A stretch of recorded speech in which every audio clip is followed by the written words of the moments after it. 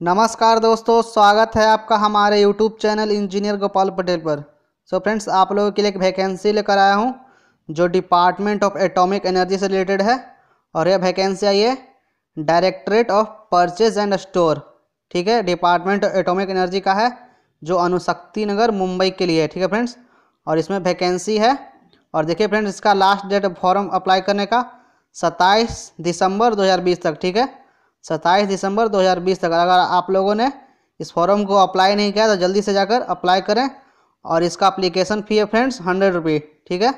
Application फ़ी है hundred rupees और friends इसका देख लेते हैं हम लोग, क्या क्या इसका पोस्ट है, जो वैकेंसी आई है।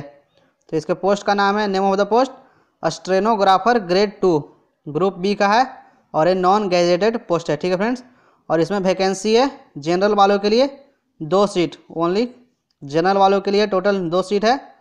ठीक है फ्रेंड्स और इसका देखिए सिलेक्शन देखते हैं मोड ऑफ़ सिलेक्शन इसमें दो एग्ज़ाम होंगे। ऑब्जेक्टिव टेस्ट लेवल वन और लेवल टू टेस्ट जो स्टेनोग्राफर हैं, उनके लिए स्किल टेस्ट होगा। ठीक है फ्रेंड्स और इसका जो देखिए इम्प्लेनमेंट क्रिटेरिया यानी सिलेक्शन का जो क्रिटेरिया है, वो है based on forty percent weightage of level one यानी आप लोग जो लेवल टेस्ट एग्ज़ाम देंगे उसका फोर्टी परसेंट ऐड करेगा और जो लेवल टू टेस्ट देंगे उसका सिक्सटी परसेंट।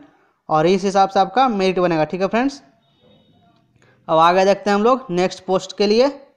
पोस्ट नाम पोस्ट का नाम है स्टेनोग्राफर ग्रेड थ्री। और यह ग्रुप सी का पोस्ट है, ये भी नॉन गेजेटेड पोस्ट है, ठीक है?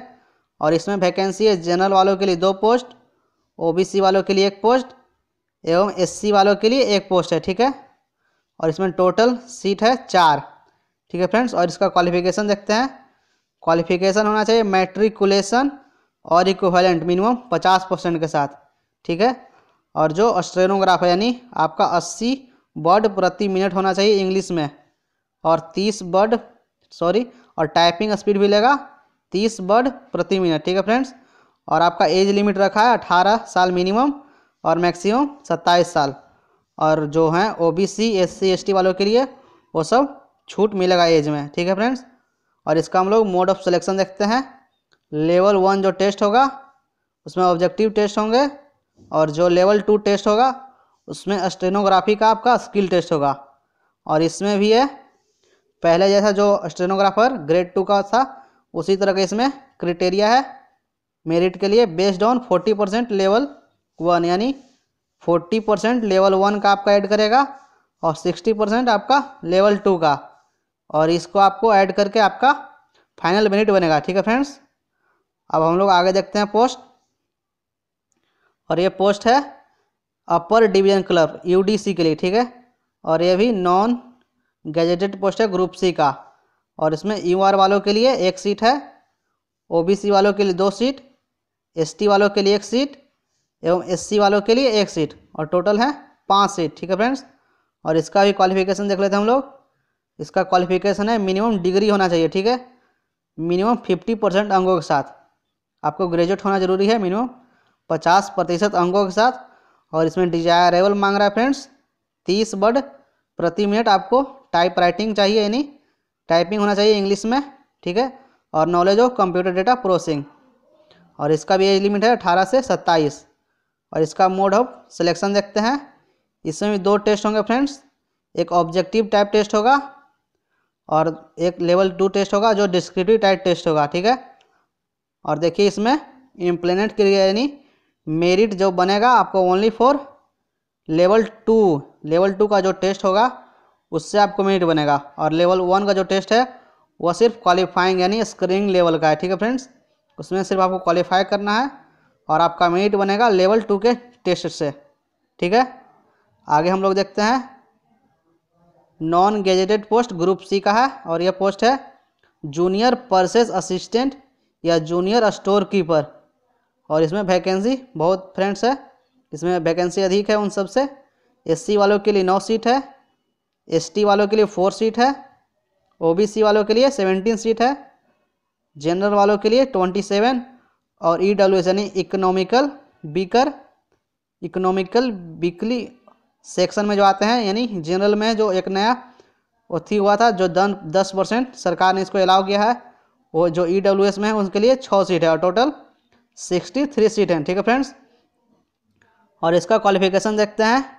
इसमें भी ग्रेजुएट ग्रेजुएट होना आपको ज़रूरी है मिनिमम ग्रेजुएट इन साइंस ठीक है? Graduate in science with sixty percent minimum marks होना चाहिए। और फिर कॉमर्स ग्रेजुएट, या या फिर कॉमर्स से ग्रेजुएट के हैं, यानी ओनली सिर्फ़ जो साइंस से ग्रेजुएट हैं और जो कॉमर्स से, वही लोग अप्लाई कर सकते हैं। और एक और पोस्ट है जो डिप्लोमा किए हुए मैकेनिकल में, इलेक्ट्रिकल में, इलेक्ट्रॉनिक्स में, कंप्यूटर साइंस में, और मिनिमम आपका अंक सिक्सटी परसेंट होना चाहिए, ठीक है फ्रेंड्स? तभी इस फॉर्म के लिए आप लोग अप्लाई कर सकते हैं, अन्यथा नहीं। और इसका भी एज एज लिमिट है अठारह से सत्ताईस साल, ठीक है? और इसका हम लोग मोड ऑफ़ सिलेक्शन देखते हैं फ्रेंड्स मोड ऑफ़ सिलेक्शन है। इसमें भी दो एग्ज़ाम होंगे। लेवल वन ऑब्जेक्टिव टेस्ट होगा और लेवल टू डिस्क्रिप्टिव टेस्ट होगा। ठीक है? और इसमें भी जो सिलेक्शन क्रिटेरिया है, वो सिर्फ़ लेवल टू के टेस्ट से होगा। और लेवल वन का टेस्ट है जो सिर्फ़ आपको स्क्रीनिंग के लिए, यानी क्वालिफाई करना है। और लेवल टू का जो टेस्ट होगा, वो डिस्क्रिप्टिव टेस्ट होगा और उसी से आपका मेरिट बनेगा। ठीक है फ्रेंड्स अब हम लोग आगे देखते हैं इसका। एक और पोस्ट सॉरी देखिए। हम्म, आगे देखते हैं हम लोग। इसका देखिए जो सिलेबस है friends level one screen test ठीक है? लेवल वन का जो टेस्ट है written examination for stenographer two stenographer grapher three and U D से वालों के लिए। तो उनका जो लेवल टेस्ट हो वन होगा उसके लिए 200 मार्क्स के एग्ज़ाम होंगे ठीक है फ्रेंड्स जिसमें आपको English general knowledge general intelligence reasoning and aptitude होगा, यानी मैथ आपको दो घंटे का समय मिलेगा और जो डिसएबिलिटी यानी डिसएबिलिटी यानी विकलांग या दिव्यांग स्टूडेंट हैं, उनके लिए चालीस मिनट एक्स्ट्रा मिलेगा। ठीक है? आगे देखते हैं हम लोग।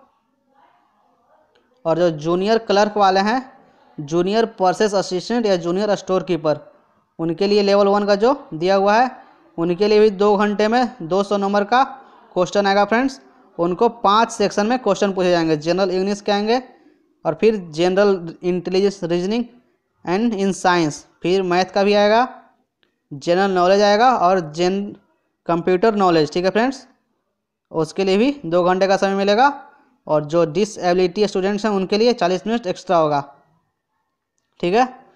और देखिए जूनियर क्लर्क वालों के लिए जो सेकेंड एग्ज़ाम होगा, यानी डिस्क्रिप्टिव पेपर होगा उसके लिए आपको इंग्लिश लैंग्वेज एंड कॉम्प्रीहेंसन से सौ मार्क्स के क्वेश्चन आएँगे। और इसी पर फ्रेंड्स आपका मेरिट बनेगा, ठीक है?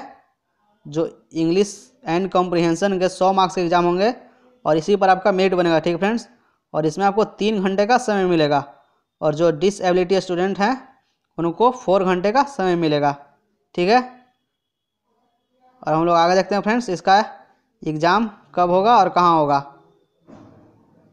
तो इसका एग्ज़ाम का डेट तो अभी तो नहीं दिया फ्रेंड्स।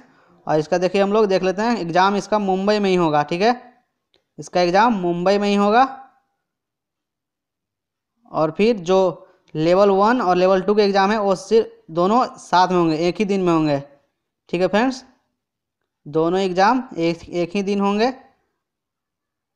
और फिर जो भी एक्स्ट्रा आपको जानकारी चाहिए तो आप लोग कमेंट बॉक्स में कमेंट करके कर सकते हैं फ्रेंड्स, जो आपको जानकारी चाहिए। अगर आप लोग चैनल पर नए हैं तो चैनल को सब्सक्राइब करें, ठीक है? और वीडियो अच्छा लगे तो वीडियो को लाइक करें और अपने दोस्तों यारों में शेयर करें, ठीक है फ्रेंड्स? तो थैंक यू फ्रेंड्स।